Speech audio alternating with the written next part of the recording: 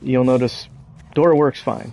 But if I take this wall, which is a double large timber window, and switch it out with a large timber window, I get one of three different kinds of timber windows.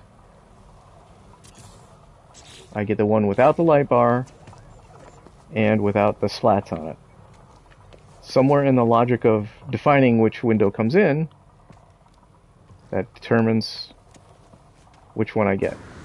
The thing is, that one has a collision issue. I'm, I'm finding a bump here. Why there's a bump here, I don't know. Uh, you guys will have to explain this to me at some point, or, you know, hopefully fix the bug.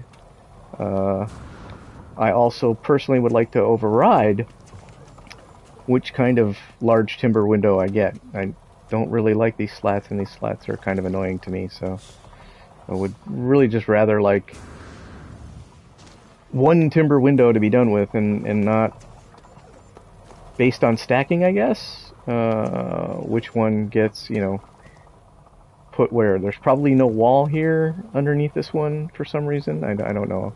Pretty sure there is a wall here. Uh, and I know there's probably a wall down there, but I kind of want that wall there. And it's just a normal timber wall, so maybe that has something to do with it. But yeah, that's it's my most recent weird collision issue. Um,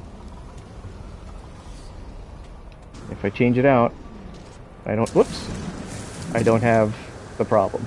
So, yep. Let me go ahead and.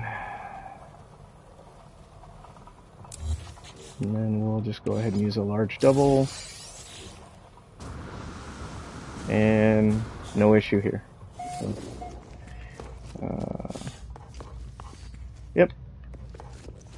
Leave it to me to find you some weird collision issues. I'm still waiting for the one with the corners to be broken. Uh, be fixed, I mean. Where the, uh, there's actually collision in here, so if I put a door there, I wouldn't be able to walk through it because the corners have a collision issue. That's an earlier bug I reported, so. Yep.